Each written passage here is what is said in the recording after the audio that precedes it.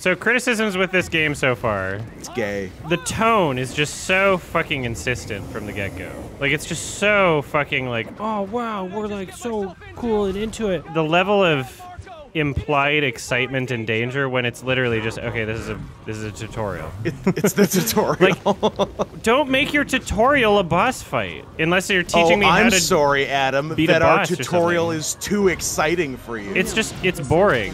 I like that there's nowhere to go emotionally from the tutorial. Like, what's the rest of the game gonna be? You know, like in in fucking Roland Emmerich's fucking 2012, so many things are falling and so many cars So out of much so many falling. buildings. The whole Earth is falling, and it's right behind them, and they're just escaping. And then they go to the next It's place, really and it's like, oh, and everything's falling again, and they're just escaping it. And I'm like, it's just so numbing. When everything is falling and collapsing, nothing matters. If there's one thing I hate, it's fucking fake, phony bullshit emotions, and that's exactly what the entire first, however much of this game is so far.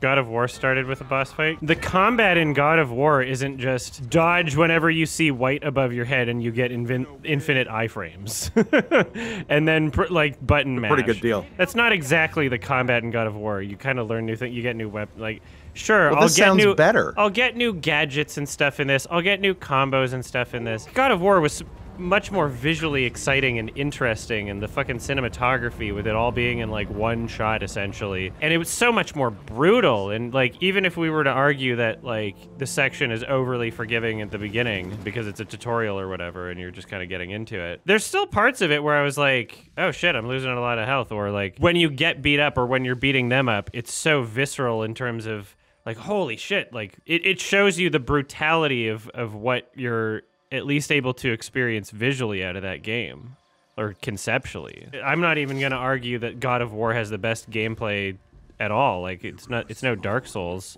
in terms of combat but at least what they're showing is interesting some people aren't just as easily manipulated by like the paint by numbers uh, checklist that people put in media Shut up, the game's starting!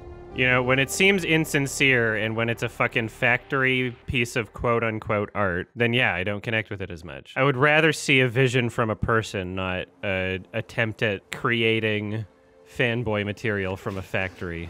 That seems like a you problem. I like superheroes, and I like to be told how to feel.